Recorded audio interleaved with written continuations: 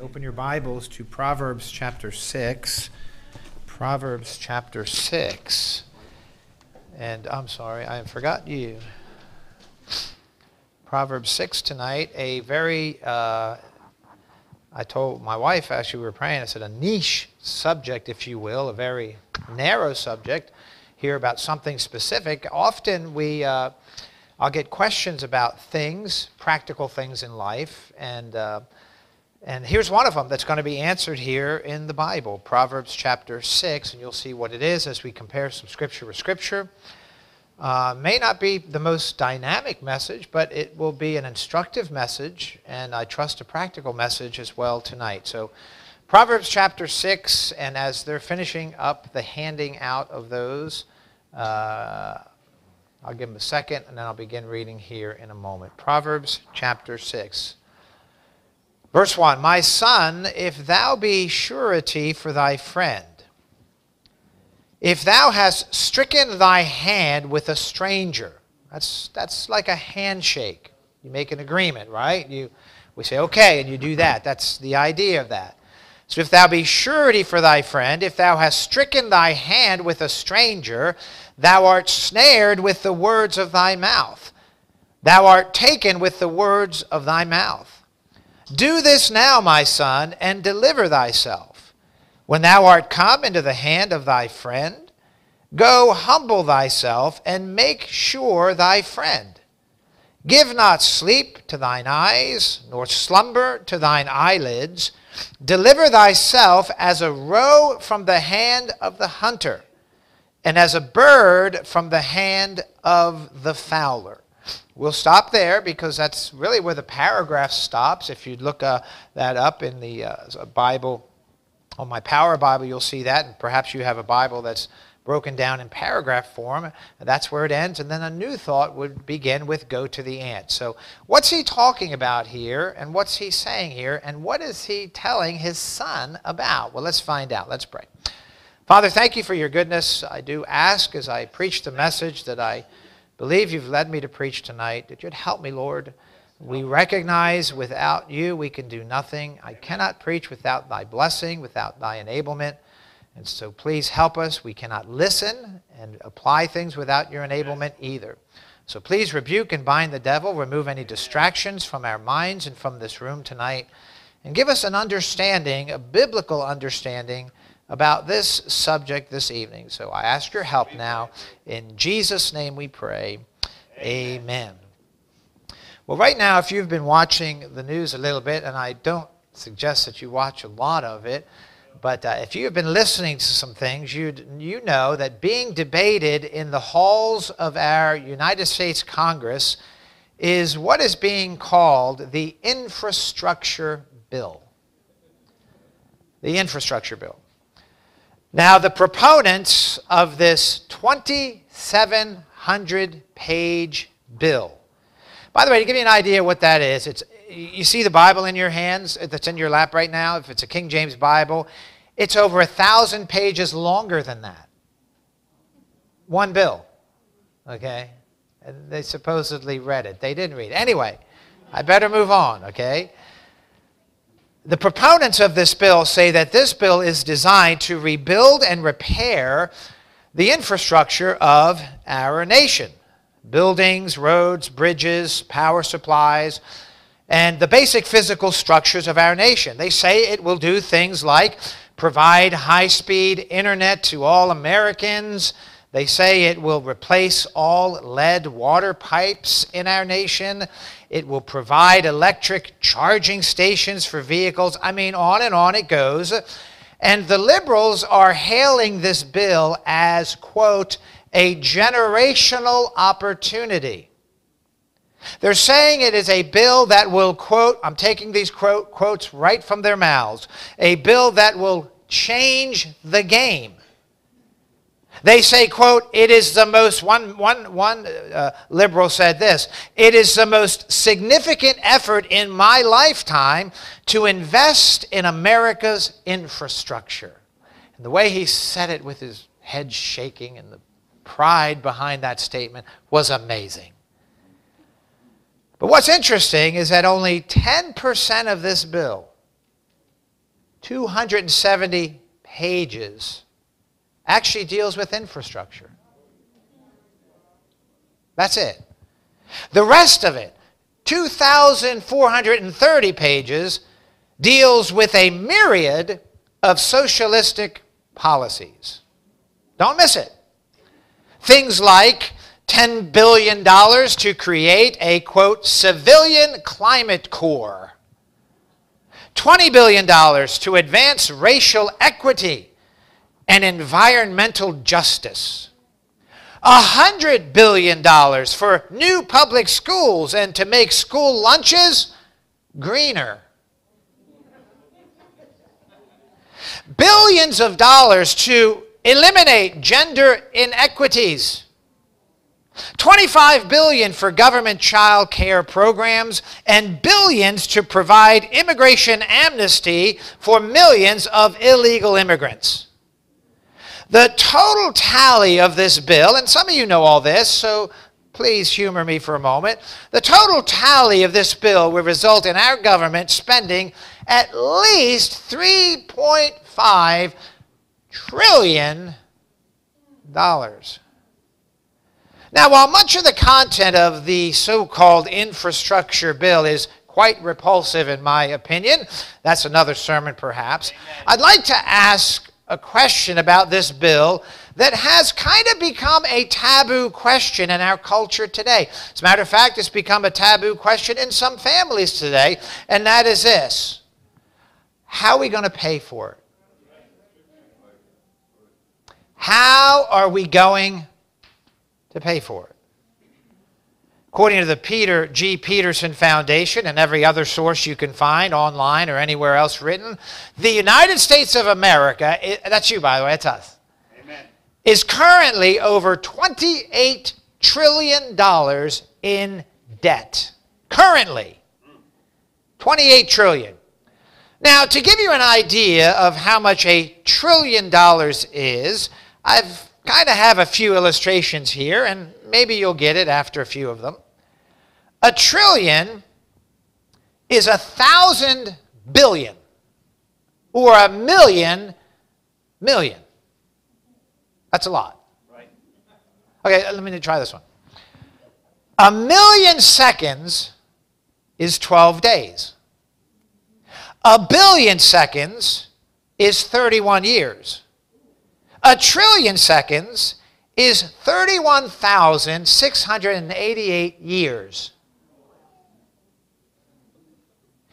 If you made $50,000 a year, it would take you 20 million years to make a trillion dollars. Are we getting it now? A little bit? How much we're talking about?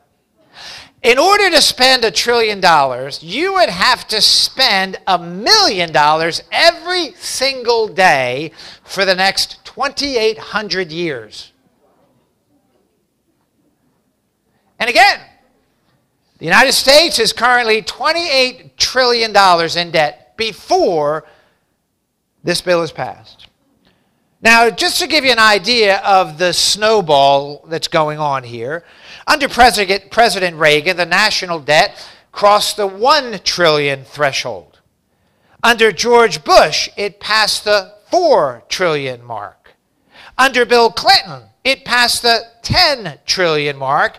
And under Barack Obama, he doubled the national debt, bringing it over 20 trillion dollars. What's going on here? Why is this happening? Why? You know, many will say that our national debt is caused by these factors. I thought this was interesting too. They'll say it's caused by, well, one being the aging baby boom generation. You guys, that's me, by the way. I'm the tail end of that, right? You're the problem. Yeah, there's too many of you. That's the idea. They'll say also, attributing to that is rising health care costs and they'll say a tax system that doesn't bring in enough money to pay for what the government has prom- promised its citizens. I say, and uh, this is the best way I know how to put it at this moment baloney. Baloney. The reason for such a large national debt isn't hard to figure out. It's called math. It really is. We spend more than we have. Right. That was a tricky one, wasn't it? We're spending way more than we have. And, and, and the problem's not the intake, the problem's the outflow. And I'm not going to get into all the weird things we do with the money the government does, you know? But what's odd is that most Americans are indifferent to where we are. Why is that? Well, perhaps because there's an attitude or a philosophy that's prevalent in our culture today. And here it is. Our culture says if I want it, I'm going to get it. That's right. And if I don't have the money to get it, I'm going to borrow it. And I'll pay it back sometime later. And if I can't borrow it, I'm going to find some other way to get it, but I'm getting it. That's the culture today. Because our culture says, as a whole, not everybody, as a whole, I want it and I want it now. And by the way, that philosophy will eventually cause you or a nation, a family, or anybody to financially implode. Right. You know, you'd think with everything that's going on, we'd be a little bit more cautious about things. Do you know in 2020, in 2020 we reached a new high for consumer debt? That's talking about individuals, us, people. $14.8 trillion. Individuals. And by the way, many of God's people are guilty of this same philosophy. I want it, I'm getting it. No matter what, if I don't have the money, I'm going to borrow, I'm going to get it somehow, either guilty of the philosophy or part of it or some form of it. Why is that? You know, often it's because perhaps maybe we haven't been taught Bible principles about finances. Right. Maybe nobody taught us. In other words, we don't know what the Bible says about finances. By the way, it says a lot about finances. Amen. Talk about this a little bit later. Or we don't see our mismanagement of finances as a problem, or, or as a character flaw, or as something wrong, or as a violation of God's word, or perhaps certainly we just don't care. But it is a problem. Amen. And we need, we need to understand and learn God's principles about finances, Amen. money. Amen. Now, for some time now, we've been looking at the subject, wisdom from above. It's a series I've been preaching through the book of Proverbs. The phrase, of course, is taken from James chapter 3 and verse 17, which reads, But the wisdom that is from above, God's wisdom, is first pure, then peaceable, gentle, and easy to be entreated, full of mercy and good fruits, without partiality and without hypocrisy. So there is a wisdom that comes from God, and it's found in His Word. Praise the Lord. By the way, that same passage talks about a wisdom from beneath. Worldly wisdom, earthly wisdom, this idea of, well, we as human beings, we can figure this thing out. We don't need God. We don't need His Word. We got this thing. Oh, yeah, we're doing real good. Let me tell you. We're doing real good at this thing without God. It's working out real good for us. And the idea of this is that this series is that God's people should not be living by the wisdom of the world. We shouldn't be looking at the world for our ideas uh, or the culture or everybody else is doing it. Uh, uh, we, we should live by God's wisdom, His Word. Amen. And there is absolutely no better book in the Bible, in my opinion, to find more pithy, more pointed, and more practical wisdom. I mean, where the rubber meets the road, than the book of Proverbs. Praise the Lord. This is God's wisdom. Amen. And one of the areas that many parents fail in in training their children is the area of finances. The area of money, budgeting, buying, spending, making financial decisions. Do you know the Bible contains approximately 500 verses that directly uh, are, are on the subject of prayer? And about 500 verses that are directly on the subject of faith? But when talking about finances, there are 2,350 verses in the Bible on money and how we are to use it. Amen. But many times, oh, no, don't mess with that. That's my, that's, that's my personal area right there. Well, God wants to mess with it Praise the Lord. because He wants it to line up with His Word. Hallelujah. You know, everything, think about this, everything that you and I do in life will somehow, some way, in some form involve money. Amen. It really will. It touches every aspect of our life. And our text this evening deals with a specific subject. There's going to be a lot of this stuff through the book of Proverbs. Here's probably the first one, and it's dealing with a very specific subject concerning money. It's the subject of surety. Look at that word, surety. Verse 1 My son, if thou be surety for thy friend. And so this morning or this evening, whatever it is, today, amen, we're here. I'm going to preach on this subject the wisdom of surety. Amen. In other words, what do I do with what is it? What what is what exactly is surety? Is this something I should do? Is this something I should not do? How am I to handle this subject of surety? You say, well, I don't even know what you're talking about. I know, we're, we're getting to that. That's okay. We'll get there, okay? So let's look at that. Number one, would you write this down? Let's consider the definition of surety. So what is this thing? Notice verse 1. My son, if thou be surety for thy friend, if thou hast stricken thy hand with a stranger. Now, notice again, we have a father speaking to his son. And he's trying to teach his son about being wise with his money. Amen. And he's talking about him being wise with his money in regards to suretyship.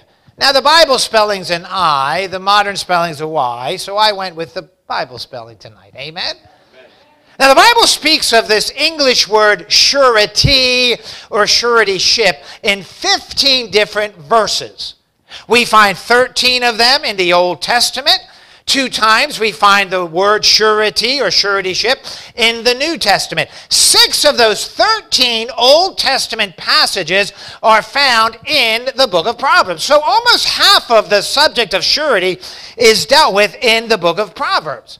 Now, there are two ways that the Bible uses this word surety.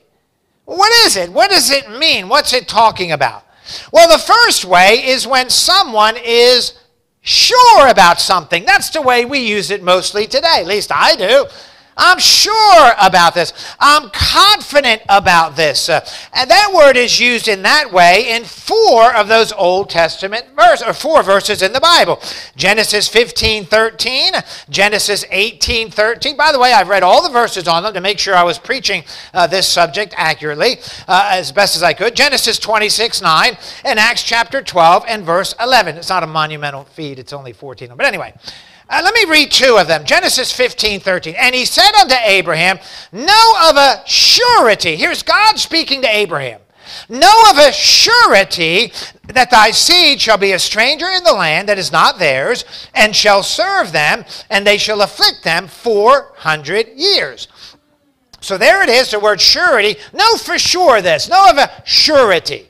Acts chapter 12 and verse 11. And when Peter was come to himself, he said, Now I know of a surety that the Lord has sent his angel and hath delivered me out of the hand of Herod. So again, it means I know something for certain of a surety. That's not what we're talking about tonight. There's a second way that is used, and it's used in a financial context. Our text and 10 other verses use it that way. We'll see some of them later. And here's what it means. To be surety for someone is written, I wrote it down on your sheet tonight. It means to obligate yourself to be responsible for someone else's financial obligation if they default to, if I'm going to be surety for someone, I am obligating myself that if this person doesn't pay, then I'll take care of it. I'll do that. In other words, perhaps someone's financial situation's not good and the other person's is, otherwise they wouldn't need you to do this. Right? That makes sense. You don't need someone to be surety if you can take care of it yourself. Obviously, you can't. And so, you, the one whose financial situation is good, you become the guarantor or the backer or the security for whatever it is that that person's going to owe to another person. Now, the most familiar way to be surety for someone is when we use the phrase cosign, right? Is when you co-sign for a loan. Maybe someone asks you, hey, could you co-sign for my car? I'm buying a new car. Would you be the co-signer? Sometimes they say, would you co-sign for a mortgage? Uh, uh, that's uh, some things that happen as well. And so what that means, if you decide to be surety for that person, if they default, you pay. You pay. Okay, that's the way it goes. Now, mind you, we're not talking tonight, please make this distinction. We're not talking about lending someone money for something. That's another subject.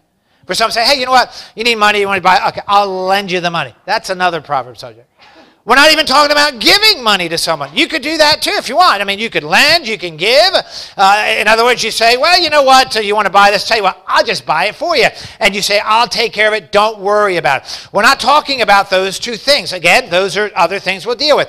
We're talking about you telling a lender if this person uh, doesn't honor to pay what they said they'll pay, they default for whatever reason, that I'm going to go ahead and pay back what they promised promise to pay back. You're making sure the payment. You're making certain the payment. You're making sure it gets paid. It's called surety.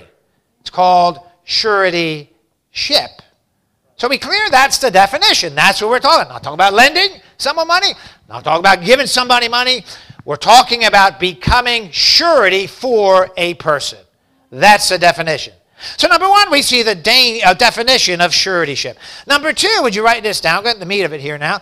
Let's talk about the dangers of suretyship. So I guess the question is, okay, preacher, I get it. Suretyship is when someone, maybe a son or a daughter, or a brother, or a sister, or parent says, hey, you know what? Uh, could you do me a favor? Uh, I want to get this X, Y, Z, and uh, the bank's not giving me any money. They won't loan it to me. Uh, and, and, so could you, could you, could you co-sign for this? Listen, you don't have to pay. I'll pay it. I'll take care of it. All you got to do is sign your name. Don't worry. Everything will be fine. And you have to decide, hmm, Do I do it? Or do I not? Well, I love them.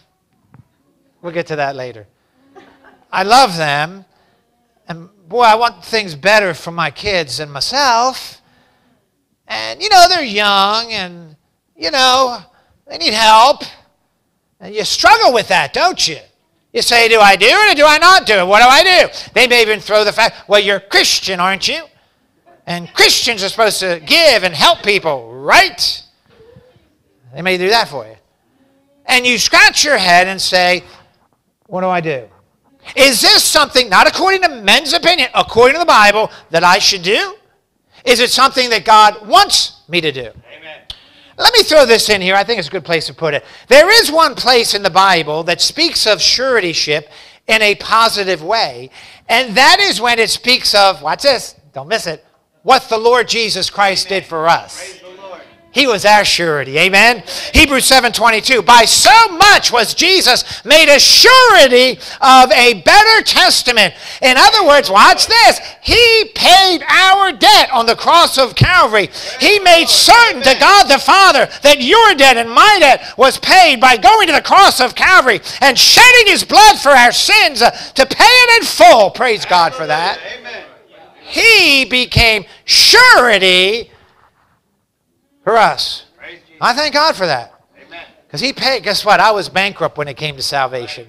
I didn't have nothing, you know. I wanted, to, I wanted to go to heaven and all that, but I couldn't pay it on my own. I needed somebody to save me, and the Lord Jesus Christ became my surety. But that's the only place it speaks of it positive. You know, in all the other verses that deals with it in the same word, the same word, financially, the Bible has nothing good to say about financial suretyship. Nothing. It's all negative. We're going to look at Proverbs 6, 1 through 5 in a moment here, but let me read a few of them for you. You'll hear these a few times in the next probably half hour. All right, 20 minutes. Anyway, Proverbs 11, 15. He that is surety for a stranger shall smart for it, and he that hateth suretyship is sure. Amen. Did you get that? Amen. He's saying uh, if you if you if you are surety for someone, you're going to learn a lesson, Right. a hard lesson. But if you hate it, you're, you you you get it. Right. If you hate suretyship, that's pretty obvious if you ask me what God says about it. Proverbs 17 and verse 18. A man void of understanding striketh hands and becometh surety in the presence of his friend. Oh, yes, I'll take care of that. No, you have no problem. If you, if you don't take it, I'll, I'll do it. That's stupid. That's dumb. And God says that people that are uh, become surety for another, he says you're void of understanding. Proverbs 22, 26. Be not thou one of them that strike hands, or of them that are sureties for debts. That sounds pretty plain if you ask me. He says, don't be one of those people that exercises surety. Not talking about giving money, not talking about lending money, talking about being surety.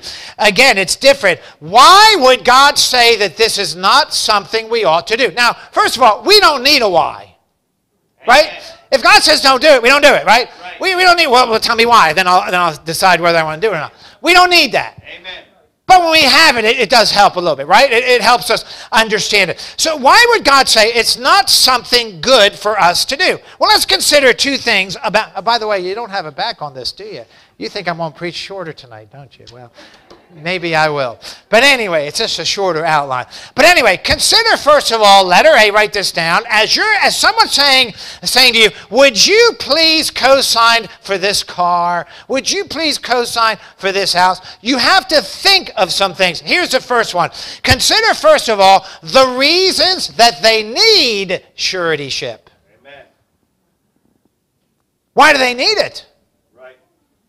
Do you know that financial service companies, by the way, most of them are based in Wilmington. Just go up to Chase and Citibank and the high rises. Boy, boy, how'd they get the money to build those? You. Me. Financial service companies, watch this, spend about $17 billion a year marketing their products offering to people credit cards, personal loans, home equity loans, refinances, reverse mortgages, all of those things. By the way, $83 million a year is spent on promoting student credit card use. They want you to get in there early, borrowing money. They, watch this, they want to lend people money. They want to. That is their business. That's how they make their money. They make their money off lending people money. They look for ways that they can lend people money. If there is a way to lend you money, they will do it. They will.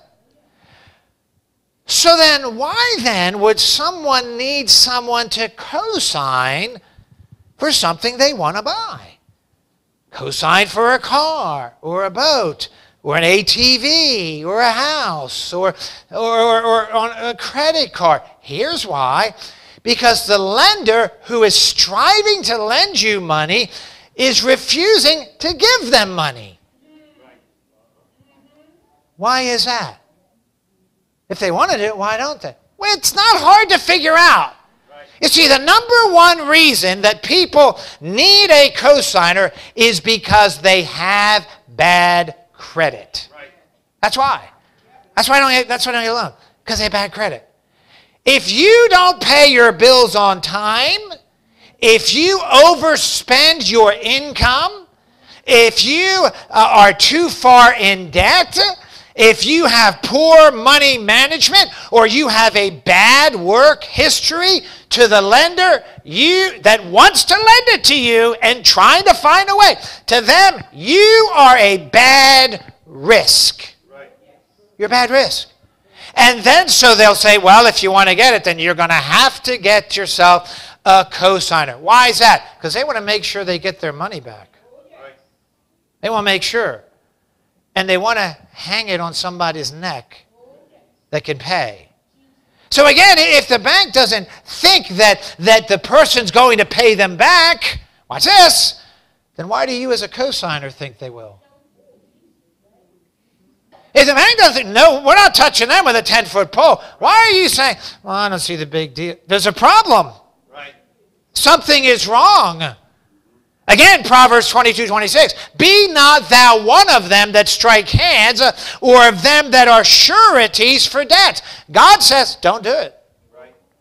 But they, but they're, they're, they just they have some they need. They, no, don't do it. That's what the Bible says. Sorry, don't co-sign for it. Consider the reason that they need suretyship. That's what you should do first. But then, secondly, also consider this. Consider the result of suretyship. The result. Now, when you are tempted to co sign for someone, ask yourself this question, if you would Am I really helping them? Now, some may call this tough love, but it's really Bible love. Amen. That's what it is. Am I? You see, most of the time, the very reason that they need a cosigner is because somewhere in their life there's a problem. Right. There's a problem. Either there, eh, eh, eh, I'll just say, either there's a problem in their character, or there's a lack of discipline somewhere, or they're not living by Bible principles. Right. They may have bad financial habits. They may want to, things that they cannot afford. Right. They may have a spending problem, overspending. It's like a drug. They're like a junkie with, uh, with Amazon and uh, all these other places. I I just need to buy something today to make me feel better. You're like a junkie. If you can't afford it, it's not good. Maybe they don't know how to budget or they've never functioned with a budget. And they just say, well, the money's in the account. I guess I'll spend it. Not thinking of, well, well there's, a, there's a mortgage payment coming up next week. You might want to think about that. Or maybe they just don't want to work. And that's the problem. My point is this again, most of the time, the very reason somebody needs a cosigner, there is a character problem somewhere. Amen. Could be impatience, by the way, you name it.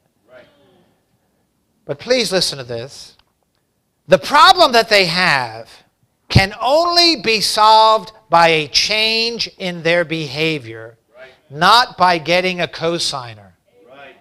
Getting a cosigner will not help their problem. It, it won't fix their bad financial habits. It won't, all of a sudden, now they want to budget. Uh, uh, all of a sudden, they'll stop spending uh, uh, as much as they do. Uh, again, the problem will not be changed by getting a cosigner. The problem is they have to change their spending habits or their behavior.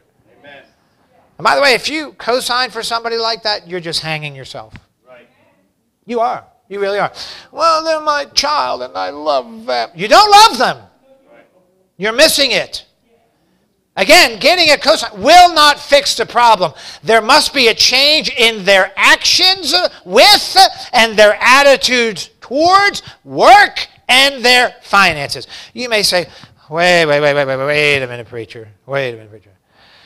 You must not live in a real world. Okay, because someone has to co-sign for me because I have to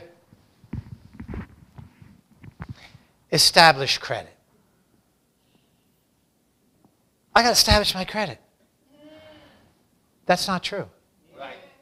You've fallen for the culture. It's not true. Do you know it is possible? Really is. It's possible for you to save money and pay cash for the item. Amen. Revelation. You can pay cash. Right. Pay for it. You want it? Buy it. Right. There it is. And pay pay cash for a car? Yeah. Right.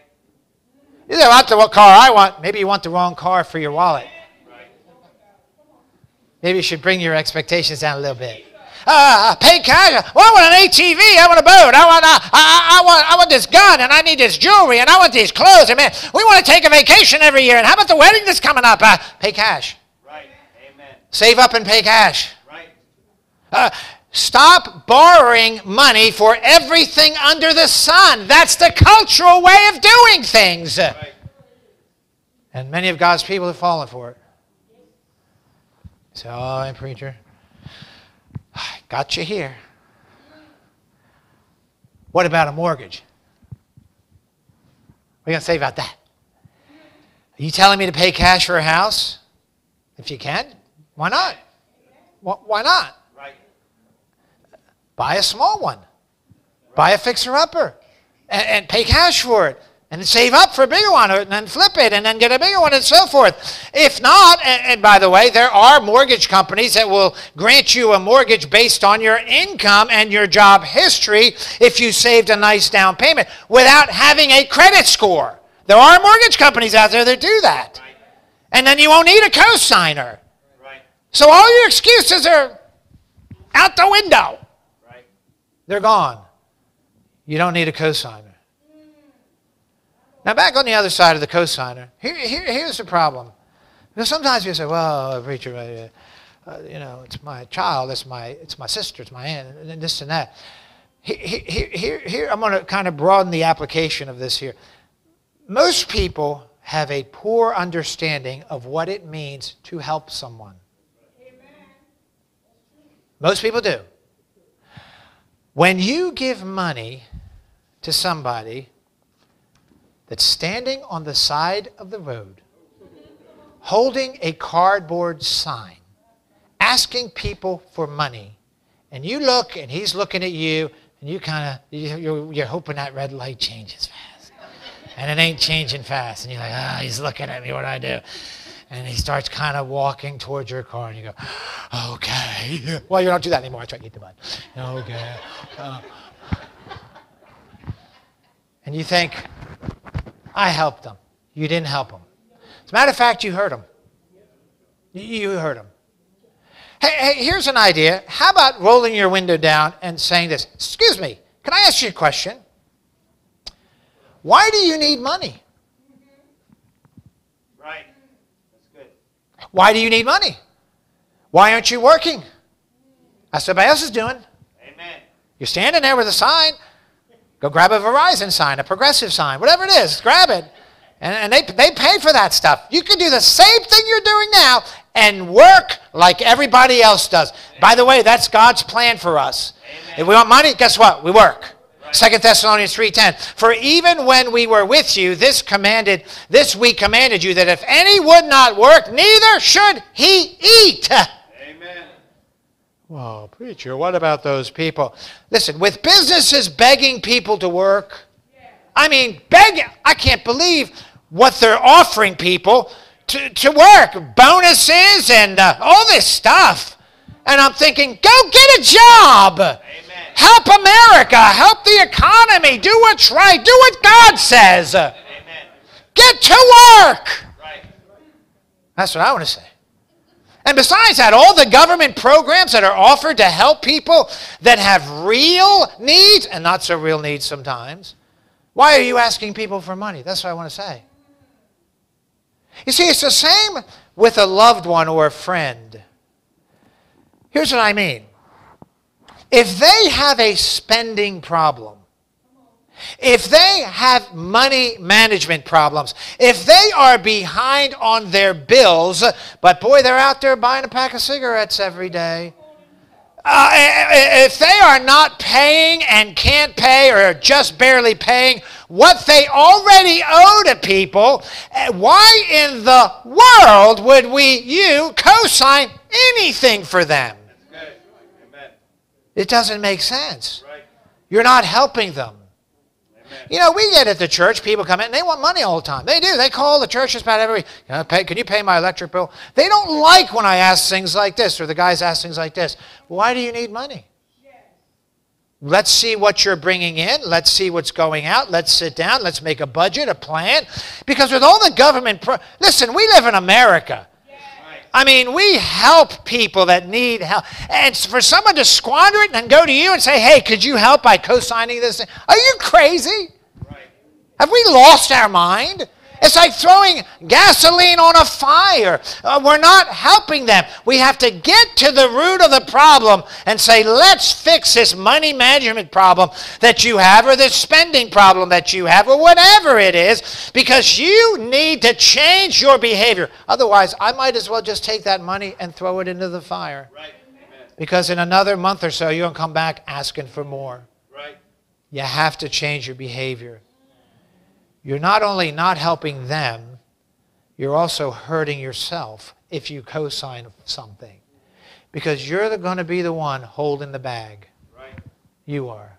And they're going to just step off. And that creditor's going to be calling your phone number, asking you for that money that you promised you'd give them if they defaulted. They're not going to be chasing them anymore because they know that that's, that rock has been wrung, or that, that sponge has been wrung dry a long time ago. They're going to come after you and hound you until you pay what they owe. It's a bad deal Amen. to co-sign. So we see the definition of suretyship. We see the danger of suretyship. And then lastly, we see the departure from suretyship. All right, let's go back to our text. He thought we'd never get there. Let's go back. To notice, my son, if thou be surety for thy friend, if thou hast stricken thy hand with a stranger, watch what he says here. Thou art snared with the words of thy mouth, thou art taken with the words of thy mouth. Do this now, my son, and deliver thyself. When thou art come into the hand of thy friend, go humble thyself, and make sure thy friend. Give not sleep to thine eyes, nor slumber to thine eyelids. Deliver thyself as a roe from the hand of the hunter, and as a bird from the hand of the fowler. Now, here's what he's saying here. If you are now, maybe you entered into a co-signed situation now. Listen, it happens. We've done things like that. Maybe right now you've co-signed. If you are in a suretyship situation now, if you have already promised promised it to someone and agreed to co-sign and you've done it already, guess what? You're stuck. You're in it. Lesson time. Honor what you promised and pray that that person pays his bill. Because if not, they're coming after you. But what he's saying here is this if there is any way that you can get out of this situation, you say, How so? Well, how about this? Wait until they make some payments and try to get them to refinance in their name only as soon as you can. Just say, let's try to refinance. Let's just try. Let's just go. Then, if you can do that, get out of it as soon as possible. And when you do, do not do it again because you're not helping anyone. It's kind of like that person that um, is addicted to drugs, you know, and they need money, they need money, they need money. They, and you keep feeding them money because you feel sorry for them. You're not helping them. I know it's hard, especially when it's a loved one, to have to stand back and turn them over to God and say, Lord, I, I, you're going to have to deal with them, Lord. I, I, I'm not going to be the one that's responsible for their drugs and cigarettes and all that, killing them. I'm not going to do that. Right. And it's hard, it is. Amen. But it's right. Amen. It's right.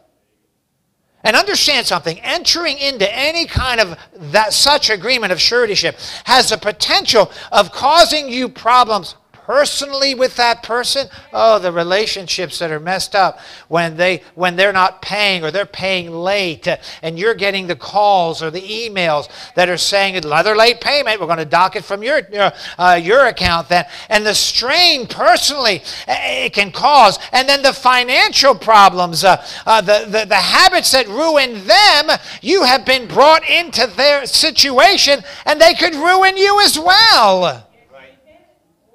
Because you're responsible. I've known people that have, have, have co-signed for people and they went to buy something themselves, maybe a vacation home or something, and they were denied because they were accounted for what that person was doing. It's going to hurt you. Again, the third time, if you want to give someone money to help them, go ahead and do it.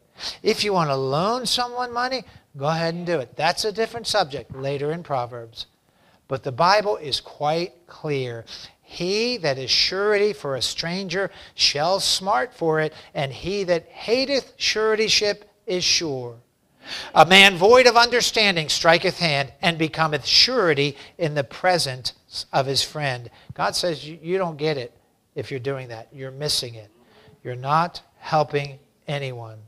We need to be teaching financial principles to ourselves and also our children Amen. because there's wisdom in it. Praise There's wisdom Lord. in it. Is it easy to do? Not always. But is it the right thing to do and the best thing to do?